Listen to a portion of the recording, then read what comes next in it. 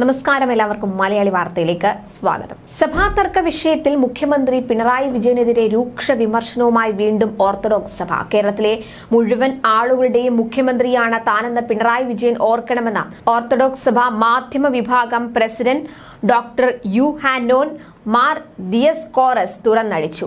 കഴിഞ്ഞ ദിവസം പുത്തൻകുരിശ് യാക്കോബായ സുറിയാനി സഭയുടെ പരിപാടിയിൽ മുഖ്യമന്ത്രി നടത്തിയ പരാമർശങ്ങൾക്ക് പിന്നാലെയാണ് ഈ വിമർശനം. കുറച്ചാളുകളുടെ മുഖ്യമന്ത്രിയായി മാത്രം ഇരിക്കാനാണ് അദ്ദേഹം ശ്രമിക്കുന്നതെങ്കിൽ അപകടം വിളിച്ചു വരുത്തും.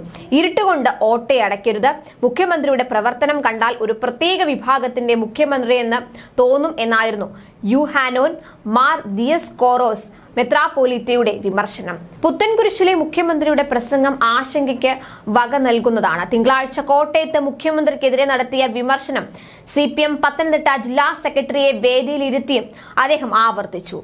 മാർത്തോമൻ പൈതൃക സംഗമം തെക്കൻ മേഖല ദീപശിഖ പ്രയാണത്തിനുള്ള തുമ്പമൺ ഭദ്രാസനതല സ്വീകരണ സമ്മേളനം മാങ്കാങ്കുന്ന് സെന്റ് സ്റ്റീഫൻസ് ഓർത്തഡോക്സ് കത്തീഡ്രലിൽ ഉദ്ഘാടനം ചെയ്ത് സംസാരിക്കവെയാണ് അദ്ദേഹം രൂക്ഷ വിമർശനം ഉന്നയിച്ചത്. സുപ്രീം കോടതി വിധി മാനിച്ചു മുന്നോട്ടു പോകുമെന്ന് പറയാനാണ് ഭരണകർത്താക്കൾക്ക് ആർജവം ഉണ്ടാകേണ്ടത്. സുപ്രീം കോടതി വിധിക്കെതിരെ പുതിയ നിയമം കൊണ്ടുവരുമെന്ന് പറയുന്നത് രാജ്യത്തിന്റെ വ്യവസ്ഥാപിത ഭരണഘടനയെയും നിയമവ്യവസ്ഥയെയും നിന്ദിക്കുന്നതിന് തുല്യമാണ്. നിയമനിർമ്മാണത്തിലൂടെ കൂടുതൽ പ്രശ്നങ്ങൾ ഉണ്ടാക്കി സ്വന്തം കസേര ഉറപ്പിക്കാനാണ് പലരും ശ്രമിക്കുന്നത്. സുപ്രീം കോടതി വിധി അംഗീകരിക്കാത്തവർ എന്തു നിയമം കൊണ്ടുവന്നാലും വിലപ്പോകില്ല. സമുദായാംഗങ്ങളെ വിഘടിപ്പിച്ച് നിർത്തി വോട്ട് നേടാനാണ് രാഷ്ട്രീയ കക്ഷികളെല്ലാം ശ്രമിക്കുന്നത്. എന്നാൽ സമുദായത്തെ തകർക്കാനുള്ള നീക്കമുണ്ടായാൽ അതിന് തിരിച്ചടി നൽകാൻ നിർബന്ധിതരാകും. സ്നേഹം നടിച്ച് മിണ്ടാതിരിക്കുന്ന രാഷ്ട്രീയക്കാരെയല്ല മറിച്ച് നീതിന്യായ വ്യവസ്ഥ തിരിച്ചറിഞ്ഞ് പ്രതികരിക്കുന്ന രാഷ്ട്രീയ നേതാക്കളെയാണ് നാടിന് ആവശ്യമെന്നും അദ്ദേഹം തുറന്നടിച്ചു.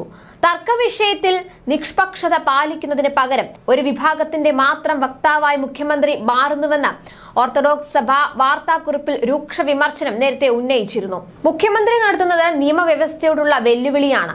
നിയമപരമല്ലാത്ത ആനുകൂല്യം വാഗ്ദാനം ചെയ്ത കയ്യടി വാങ്ങാൻ മുഖ്യമന്ത്രി നടത്തിയ ശ്രമം ജനാധിപത്യ രാജ്യത്തിന് ഭൂഷണമല്ല.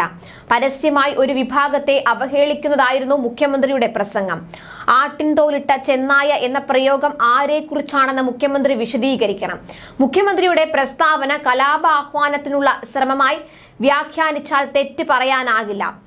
അളമുട്ടിയാൽ ചേരയും കടിക്കുമെന്ന് കേരളം ഭരിക്കുന്നവർ മനസ്സിലാക്കണമെന്നുമായിരുന്നു രൂക്ഷ വിമർശനം. എന്നാൽ സഭയുടെ വിശ്വാസ പാരമ്പര്യങ്ങൾ സംരക്ഷിച്ചുകൊണ്ട് സഭയുടെ അസ്തിത്വം നിലനിർത്തുമെന്നും അതിന് സർക്കാർ പ്രതിജ്ഞാബദ്ധമാണെന്നും മുഖ്യമന്ത്രി പറഞ്ഞു. എല്ലാവരുടെയും കൂട്ടായ സഹകരണത്തോടെ സഭാപ്രശ്നത്തിൽ അന്തിമ പരിഹാരം കാണാൻ സാധിക്കുമെന്നാണ് പ്രതീക്ഷ.